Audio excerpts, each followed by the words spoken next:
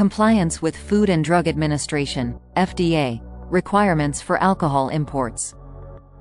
Hello and welcome back to our channel. In today's video, we will be discussing the importance of compliance with Food and Drug Administration, FDA, requirements for alcohol imports. As a customs brokerage firm, it is crucial to understand these regulations to ensure smooth and legal importation of alcohol into the United States. So, let's dive right in. Alcohol imports are subject to strict FDA regulations to protect consumers from unsafe or mislabeled products. The FDA oversees the safety, labeling, and quality of alcoholic beverages, and compliance with their requirements is mandatory for importers. Failure to comply with these regulations can result in serious penalties, such as seizure of the shipment, fines, and even criminal charges. One of the key requirements for alcohol imports is obtaining a proper customs bond. A customs bond serves as a financial guarantee between the importer, customs, and other government agencies involved in the import process. It ensures that the importer will fulfill all regulatory obligations, including FDA requirements. Having a customs bond is essential to gain entry for your alcohol shipments into the United States. In addition to the customs bond, Importers of alcohol must also comply with the FDA's labeling requirements.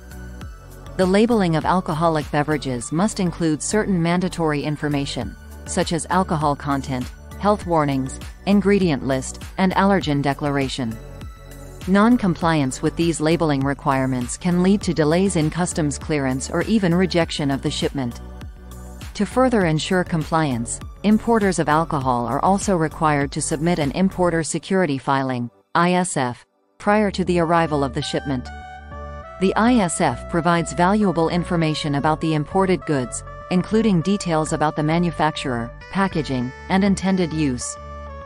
This filing helps the FDA assess the potential risks associated with the imported alcohol and allows them to make informed decisions regarding inspections and approvals.